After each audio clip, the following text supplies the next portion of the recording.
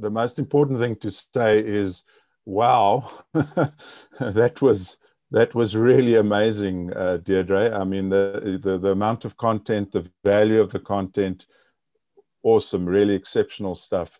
Um, just, just going back briefly, so Liesl touched on scaling th through the exponential attributes, and I just wanted to, on the staff on demand rather than outsourcing point, I think outsourcing is such a uh, abused thing in, in especially in the South African context.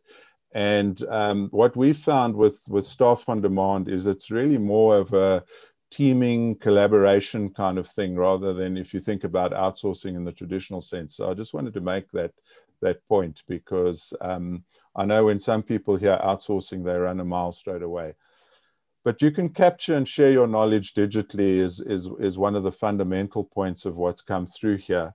And you can partner for collaboration. You know, and learning increases usage and engagement it supplements face-to-face engagement. I wanted to just do a quick punt for um, next week is Global Entrepreneurship Week 2020. And if you go to exoworld.live, this GEW link, you'll see that there's a couple of us presenting there uh, along with the Open EXO community. So it'll be great if you can support us there as well. Um, and then we got some really awesome feedback, like Carmen saying, This is one of the most valuable sessions I've attended on learning.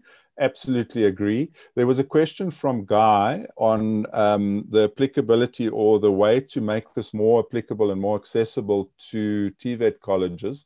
I don't know if you have any thoughts on that, Deirdre, or if you want to have a separate offline chat with Guy. I'm sure he'd appreciate that. Mm, mm. So so so definitely we want to we want to i mean as we shared we want to impact half a million learners in the next uh, or people yeah. in the next five years. So, so we really are building a lot of tools that are accessible and people can take and can use. Um, and i think craig you also mentioned just we are giving programs where you can learn the detail of, of what we've been chatting yeah. about. Yeah absolutely.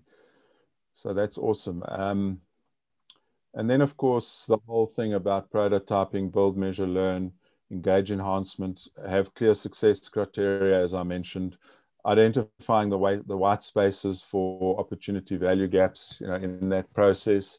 Um, and I mean, Deirdre has shared a, a, number of tools and they're going to all be in the handout. So that's awesome. Um, Liesl made the point that these new digital assets are creating digital learning that is definitely a new way of work creating value to scale your business. So thank you very much.